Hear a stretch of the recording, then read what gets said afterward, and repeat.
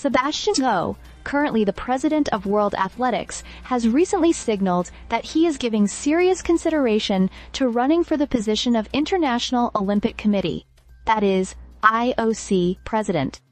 This development comes in the wake of Thomas Bach, the incumbent IOC president, announcing his decision to step down in 2025 after completing his 12-year term.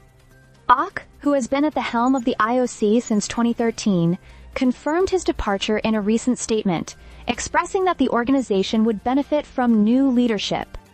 New times are calling for new leaders, Bach remarked, highlighting the importance of fresh perspectives in the evolving landscape of the Olympic movement.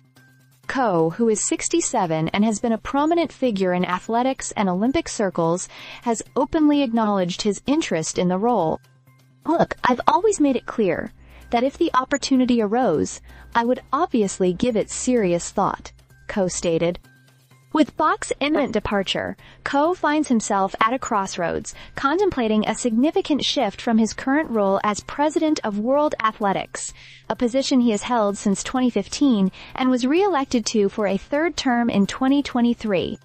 Coe's credentials are noteworthy. As an Olympic gold medalist and the driving force behind London's successful bid to host the 2012 Olympics, his experience in both competing and organizing major sporting events positions him as a strong candidate.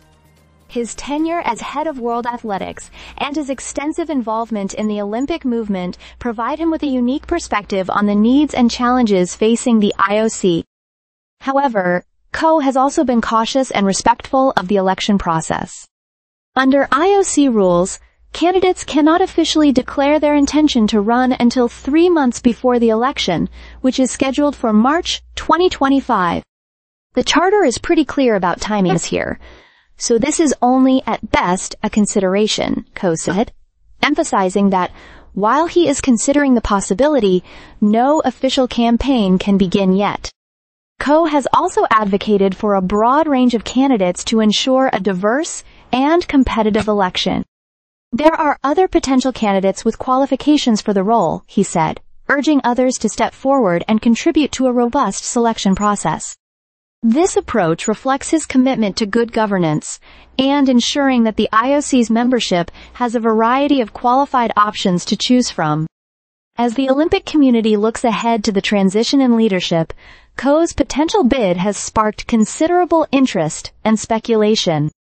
His track record in athletics and Olympic administration makes him a prominent figure to watch in the upcoming race for IOC president.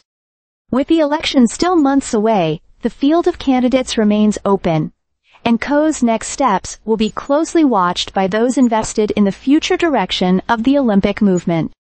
Stay subscribed for more videos.